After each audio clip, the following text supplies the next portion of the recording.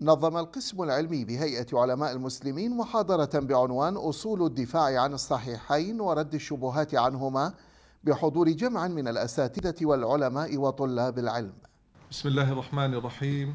الحمد لله رب العالمين وأفضل الصلاة وأتم التسليم على سيدنا محمد وعلى آله وصحبه أجمعين. وبعد الحضور الكريم أرحب بكم أجمل ترحيب في هذه المحاضرة التي يقيمها القسم العلمي تحت عنوان أصول الدفاع عن الصحيحين ورد الشبهات عنهما. يلقيها فضيلة الأستاذ الدكتور محمود شديفات أستاذ الحديث بكلية الشريعة في الجامعة الأردنية. وتحدث المحاضر الدكتور محمود شديفات أستاذ الحديث بكلية الشريعة بالجامعة الأردنية عن الإشكاليات والشبهات التي رافقت الجهد الكبير للإمامين البخاري ومسلم ومدى دقتهما في الاستدلال على الرواة الثقات في جمعهما للأحاديث النبوية الشريفة.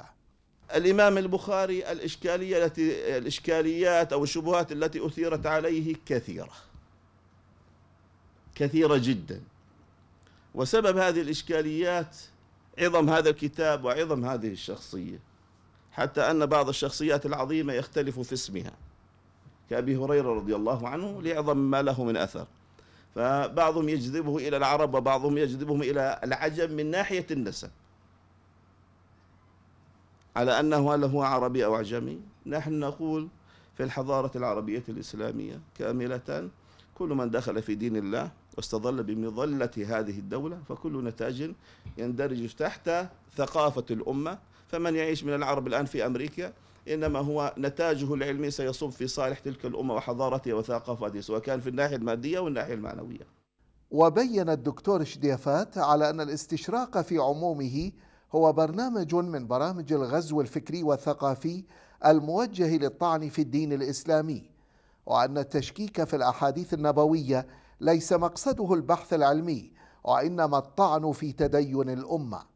هذه الحملة قلت سيهر ثم تلميذه الشاخت وغيرهم من المستشرقين قام العلماء المعاصرين منهم رحمة الله عليه الدكتور مصطفى السباعي وغيره بالرد عليهم وبيان أن هذه افتراءات لا تخضع آه، إلى آه، الحقيقة أو إلى مستوى النظرية وأنهم لم يبرهنوا على ذلك بدليل. فهذا ما نتكلم فيه عن الاستشراق الاستشراق هاجم تاريخ القرآن الكريم هاجم التاريخ الإسلامي هاجم اللغة العربية.